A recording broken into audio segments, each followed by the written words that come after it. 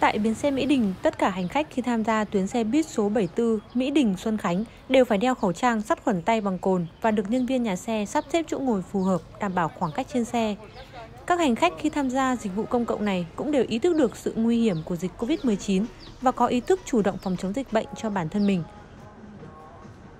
À, đi này thì tớ phải à, chuẩn bị là đeo hai khẩu trang vì tớ thì cũng à, gần 60 tuổi rồi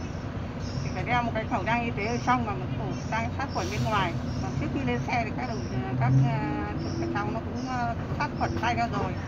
Có cách khá xa, phải đến một mét hơn mét đấy. Thì nói chung là ngồi thì nó cũng đảm bảo. Khi lên xe thì mình không có tiếp xúc với cả nhiều người. Với cả tránh những người thì không ngồi cạnh nhau. Với cả lên xe thì mình bắt buộc tất cả mọi người đều phải đeo khẩu trang. Như là phải khử sạch tay trước lên thế em nghĩ là thế là đảm bảo để không lây lan nếu có dịch bệnh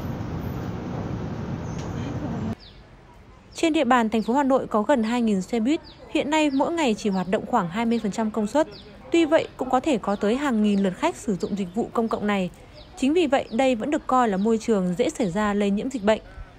Trước diễn biến phức tạp của dịch Covid-19, các xí nghiệp xe buýt trên địa bàn thành phố Hà Nội đã có những biện pháp để phòng chống dịch như quán triệt đến tất cả các nhân viên thực hiện nghiêm túc các biện pháp phòng chống dịch, giữ vệ sinh xe, lau chùi xe thường xuyên bằng cồn, sắp xếp khách trên xe đảm bảo khoảng cách.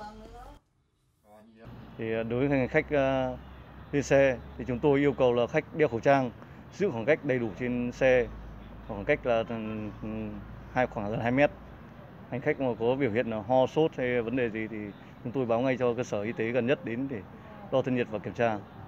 Sau một ngày hoạt động, tất cả các xe trước khi vào bến nghỉ đều được nhân viên của các xí nghiệp tiến hành vệ sinh dọn dẹp, lau chùi tất cả các hàng ghế tay cầm, nơi vi khuẩn có thể bám vào và được tiến hành phun khử trùng toàn bộ xe, chuẩn bị cho hành trình ngày hôm sau.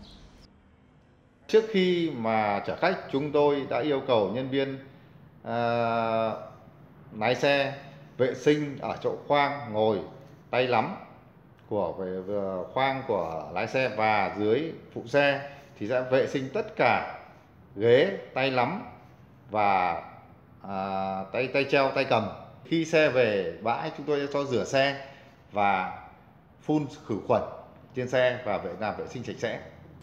Phương tiện công cộng hoạt động trở lại là điều kiện cần thiết để phục hồi sau dịch. Thế nhưng, để chủ động phòng chống dịch COVID-19, khi tham gia dịch vụ công cộng này, ngoài các biện pháp phòng chống dịch của các cơ quan chức năng, các đơn vị vận tải, mỗi người dân cần phải có ý thức chung, giữ gìn vệ sinh, không tạo ra môi trường cho dịch bệnh có thể lây lan.